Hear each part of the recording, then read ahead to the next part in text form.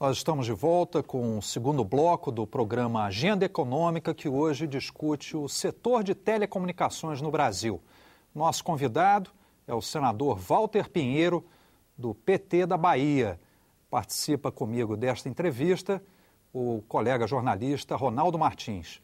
Senador, é, no final do bloco anterior eu deixei aí no ar essa questão sobre é, essa guerra que parece uma guerra vencida, né? ainda mais depois desse comentário que o senhor fez anteriormente a respeito da Oi, que foi, cujo controle foi adquirido pela Portugal Telecom. Mas a, é óbvio que a, as empresas definem os destinos, os grupos que estão por trás da empresa de, definem os seus destinos, mas essa questão tecnológica, essa questão sobre o domínio da pesquisa e desenvolvimento, é uma questão chave nesse processo. Né? E, e parece que o Brasil meio que ou se deixou levar para um caminho de inanição nessa área da, do desenvolvimento tecnológico, ou não soube, por inocência ou por incapacidade, não soube montar uma estratégia adequada para jogar esse jogo pesado que grandes operadoras mundiais jogam. O senhor acha que a guerra está vencida? Não, não, não, porque nesse mundo, principalmente da tecnologia, você vai se reinventando a cada instante. E o Brasil é um país que tem, inclusive, muitas cabeças e extremamente criativas. Então, por exemplo, a política que o governo adotou no MEC, de Ciência Sem Fronteira, é um passo importante para você recuperar isso que a formação de mão de obra, a formação de cabeças pensantes para isso. Eu, por exemplo, estou tentando repatriar dois brasileiros.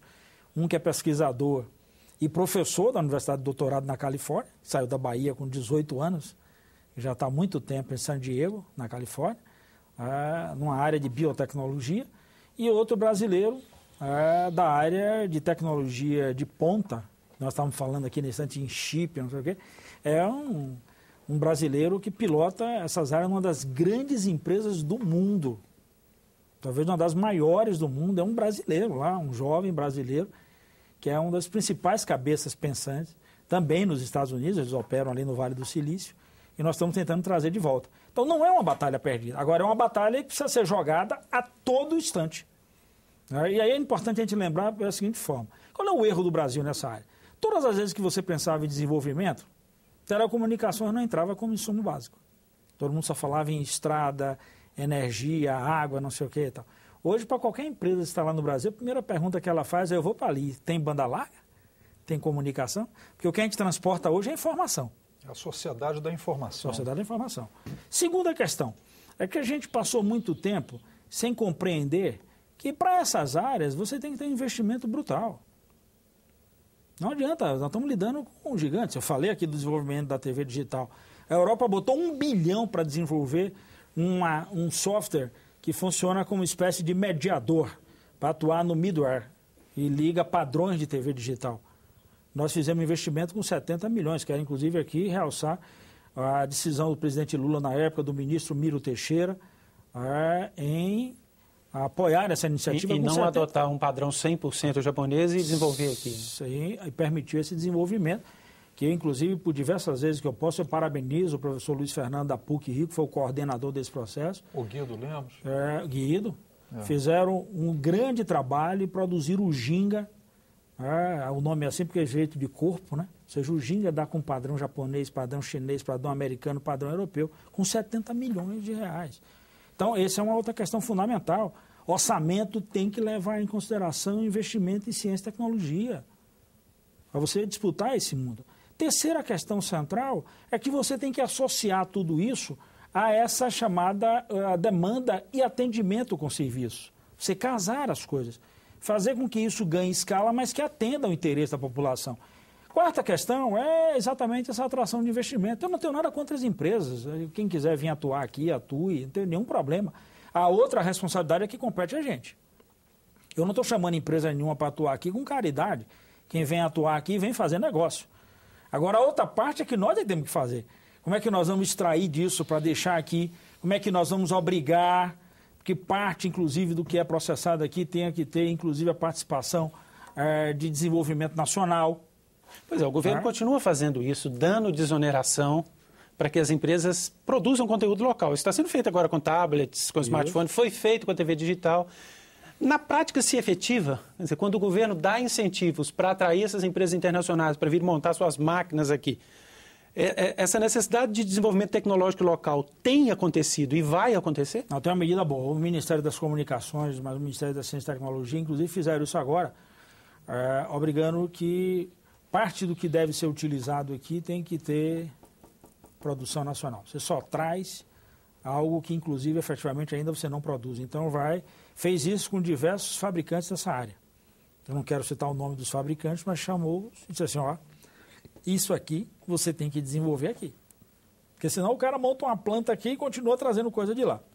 Então, essa é uma posição importante para você estimular o mercado. E a outra questão fundamental, que é uma política que nós começamos ainda a debater do governo Fernando Henrique, e que eu acho que agora consolidada, que era a questão dos parques tecnológicos. Hoje nós instalamos um parque tecnológico no Brasil inteiro.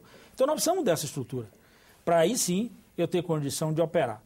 Para a condição de você trabalhar e vincular. É isso que eu quero chamar a atenção. Eu não estou tratando mais de um telefone que só diz alô. Aí quando eu vejo alguém me dizer assim, mas Piero, eu só estou precisando de um telefone lá que o povo está sem telefone. Não é possível que tenha lugar no Brasil que as pessoas não possam dizer alô. O telefone hoje é utilizado para outras coisas muito mais avançadas. Então virou uma outra ferramenta. Então é muito pouco. E eu estou falando de uma nação que tem capacidade de botar o pé na porta. Eu estou falando de 260 milhões de consumidores. Agora, Então eu posso tesar, eu posso chegar e dizer, eu quero participar da discussão mundial. Eu quero participar da porta, pela porta da frente. Vem para aqui quem aceita as condições que também eu estou colocando. agora para participar pela porta da frente, senador, a gente tem que se preparar bem para saber sentar na mesa e saber o que vai dizer. E uma das questões fundamentais nessa área, assim como em outras áreas que demandam alta tecnologia, é a questão da propriedade intelectual. É, eu até hoje eu, eu fico pensando sobre aquela visita que a presidenta Dilma fez à China e ela assinou nessa área das telecomunicações, inclusive para a produção de também. tablets e questão do- dos satélites, mas também assinou com a Tablets Foxconn. Isso. Isso. Foxconn. É, e, e eu fiquei pensando, por que com a Fox? Porque a Foxconn, lá na China, é uma montadora. Ela é, é terceirizada de empresas como a Huawei e a ZTE, que são as duas maiores empresas chinesas nessa Que área de telecomunicações, Brasil, que atuam no Brasil. É, é, e, e são essas empresas, a Huawei muito maior do que a ZTE, mas de qualquer maneira, são essas empresas que têm um domínio da propriedade intelectual. E, e- e eu tenho a impressão que o Brasil, para entrar pela porta da frente, deveria estar con- conversando com os donos da propriedade intelectual. O que, que o senhor acha disso? Olha, esse é um debate extremamente, eu diria, assim, animador de a gente fazer. Nós levaremos aqui uns três programas discutindo isso, porque... Podemos fazer uma segunda edição. Isso é um negócio, isso é vital, isso é fundamental para qualquer nação. Por isso que eu separei essa parte de equipamento da parte de conteúdo. Eu, particularmente, acho que é isso. No conteúdo, nós não devemos nada a ninguém. A nossa capacidade de produção de software, ela é uma das maiores do mundo. Nós não podemos perder essa oportunidade. Se eu tenho essa capacidade de produção de software, por que, que eu não posso migrar isso exatamente para ir para essa área? Fazer o seguinte, ó, eu quero o que vai lá dentro, meu amigo, tem que ter a minha marca. Porque equipamento é um negócio que você vai mudando. É óbvio que o supercondutor, por exemplo, ele é a essência, ele é o coração dessa questão. tá? Então, eu particularmente acho que o debate tem que ser feito de forma mais direta nesse aspecto. Então, quando eu invoco a questão da TV digital, para fazer um paralelo com essa questão da Foxconn, eu me lembro que quando se discutiu o padrão aqui, se o Brasil ia adotar padrão japonês ou não, e Americano, tal, americano e tal, aí todo mundo diz, ah, mas o problema é que os equipamentos japoneses vão ser mais baratos. Eu dizia, gente, equipamento é a coisa mais fácil do mundo, pelo amor de Deus. O problema é que é o que bota esses equipamentos para rodar. Esse aqui é, o resto aqui é a essência. Então, aí os japoneses prometeram ao governo brasileiro que iam trazer uma fábrica de chip, tá lembrado? E eu me lembro, na época, de dizer ao governo, gente, eu fiz uma pergunta, às vezes, a uma pessoa do governo, eu perguntei assim, você sabe onde é fabricado plasma e LCD no mundo? E fui logo dizendo, não tem nem nos Estados Unidos nem na Europa. Tudo na Ásia, em quatro lugares na Ásia. É Coreia, Taiwan. Na Ásia, é tudo na Ásia. Então, assim, por que, que os caras iam prometer isso para cá? Nenhum design veio para cá. Pô. Óbvio que não viria. Pô. Então, acho que a gente tinha que fazer uma outra disputa, a gente tinha que enxergar a TV digital não como uma oportunidade só de melhorar a imagem.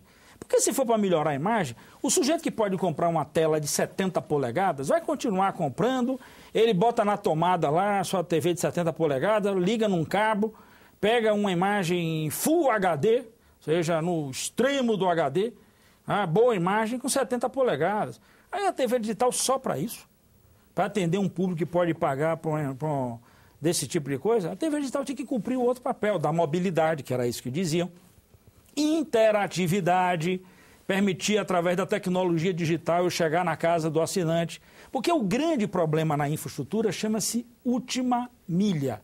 É. O parzinho ou a informação Entrar que chega na, na casa, casa, do, sujeito. do sujeito. Eu não tenho hoje, em nenhum lugar do Brasil, em oferta suficiente a última milha, por exemplo, em fibra ótica. Chegando na casa do assinante. Ainda é no modelo velho. Pois é, para trançado. Para trançado, ou você vai pegando.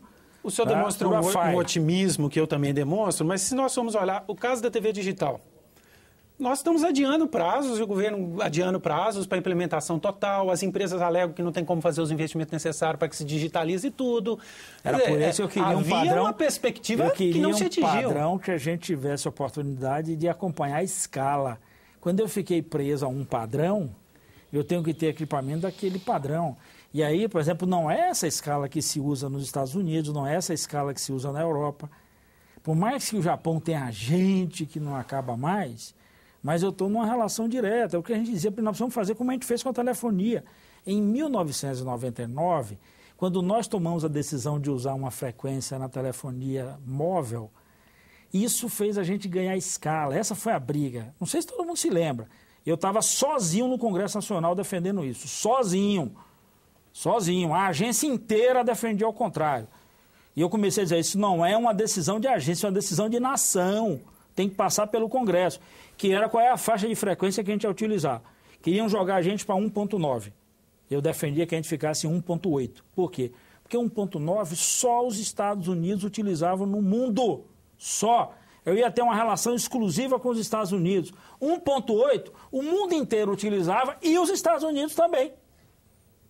Foi por isso que a gente cresceu nessa área. Cometeríamos o mesmo erro da televisão que a gente adotou o modelo oh, PAU-M que só a Alemanha usava. Né? O mundo inteiro com o NTSC. O mundo inteiro com o padrão e a gente com... Então, isso era fabricado para cá. É óbvio que o preço das coisas tem a ver com o mercado. Tem a ver com a demanda.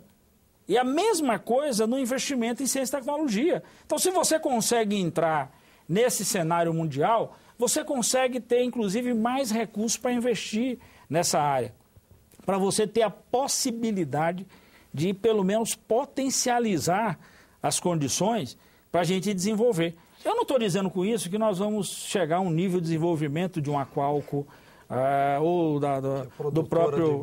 Que é fundamental, né? Aquele brasileiro que eu falei, por exemplo, trabalha nela, viu? A Qualcomm. É. é uma americana que, se você imaginar, por exemplo, é muito difícil que num celular, no mundo inteiro, não tenha um pedacinho deles. Mas assim, qual é o problema que tem um de eu pegar e ousar e disputar esse cenário de criação para é, entrar nessa linha de investimento, faturar nisso aí e trazer essa, esse desenvolvimento para cá? Agora, senador, justamente nessas áreas aí de, de mais alta tecnologia, a gente tem aí dois extremos, talvez, que a gente possa observar claramente. Né? Um extremo microscópico ou até de nanotecnologia, com essas novas gerações de chip, a Intel, inclusive a Qualcomm, a Intel acabou de lançar, vai estar tá lançando agora um outro, uma outra é, é, versão de, de microchip mais avançada ainda. Hoje já se fala em quad-core, até em, em oito, oito, oito núcleos, de, oito núcleos de, de chip no, no microchip. Né? Ah, mas tem um outro lado disso também, que, que o Brasil, sendo um país continental, eu acredito que não poderia estar de fora disso, que é a questão dos satélites. É, o Brasil, a Venezuela, aqui no nosso vizinho, Venezuela, tem dois satélites. São chineses, mas de qualquer maneira estão servindo lá os interesses da Venezuela. O Brasil não tem nenhum, não tem nenhum. usava o Star One que, que foi entregue para os mexicanos. Caiu, foi... Quer dizer, caiu no colo dos mexicanos com Na a falência com a, da WorldCom, né? Com a pressão da, da, da MCI. Como é que. Como é que como é que pode? O Brasil não tem um satélite para comunicação. É, quando eu falei essa coisa do satélite, o, na época, inclusive, da viagem da China, o ministro era o Aloysio Mercadante.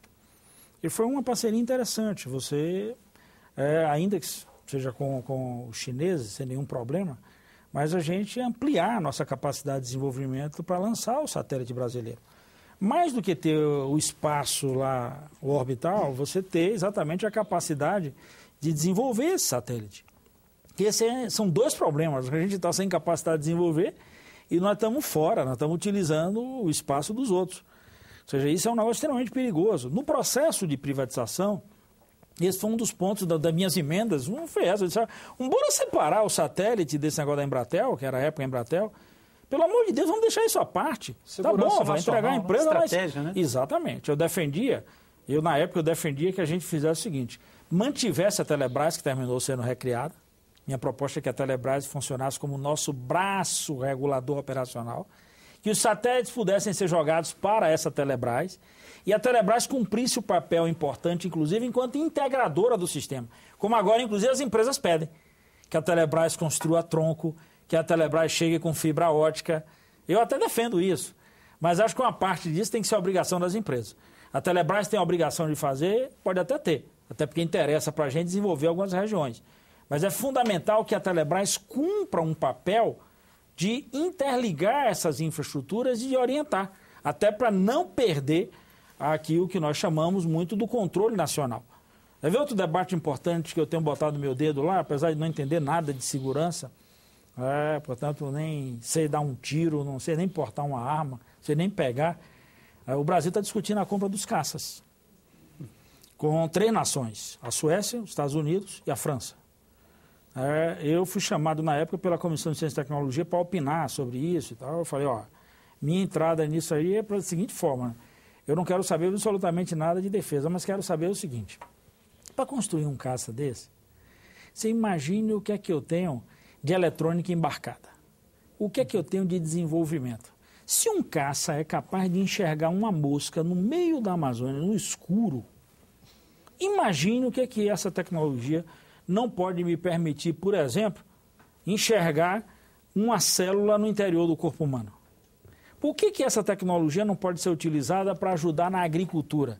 Por que, que esses caças que vão fazer segurança na fronteira não podem servir como uma espécie de estação de rádio base móvel? Se eu não consigo ter estação, mas esse avião, no momento que ele está voando, no mesmo momento em que ele faz uma fiscalização de fronteira, ele serve como um provedor. Aliás, uma grande empresa mundial acabou de fazer isso aqui na África semana passada. Senador. E aí? Então, como é que você aproveita essas coisas para trazer exatamente para o cenário de telecomunicações, para trazer para o cenário de serviço? E isso você mexe com a economia. É, quando eu falo do pequeno provedor, quando eu falo da pequena empresa, você pode ter um serviço numa cidade do interior, você pode estimular com a chegada do serviço, e você pode estimular uma atividade econômica nesses municípios através desse serviço. É, vamos até no próximo bloco, uma vez que esse já está terminado, vamos no próximo bloco tentar explorar um pouco mais esse lado também por meio da participação da Telebrás. De que maneira a Telebrás pode auxiliar nesse processo de capilarização da economia com distribuição de oportunidades para pequenas e microempresas. Vamos ver se a gente fala também um pouco de nanotecnologia Isso. nessa área né, e de outros assuntos, TV digital, que foi outra coisa e falar que a gente... um pouquinho de tarifa. Tarifa também, ok. Então, até daqui a pouco, no próximo bloco, aqui no Agenda Econômica.